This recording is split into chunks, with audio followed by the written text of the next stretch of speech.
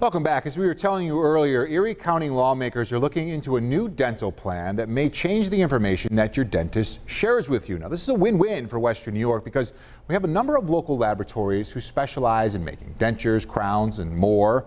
Experts we spoke with say this new law could pave the way for a business boom that will have many smiling from ear to ear. Here's 7 Eyewitness News reporter Justin Moore with the story. The whole thing should be set on what is best for the patient. Open wide. Do you know what your dentist is putting in your mouth when you go for a procedure? These dental professionals are pushing to get a law passed in Erie County that would require dentists to tell patients where their crowns, bridges, implants, and dentures are made and what's used to make them. We believe that the patients uh, have the right to understand where their uh, prosthetic is made um, and also what materials and if they're FDA approved materials. Some dental laboratories use cheaper materials from overseas not approved by the Food and Drug Administration.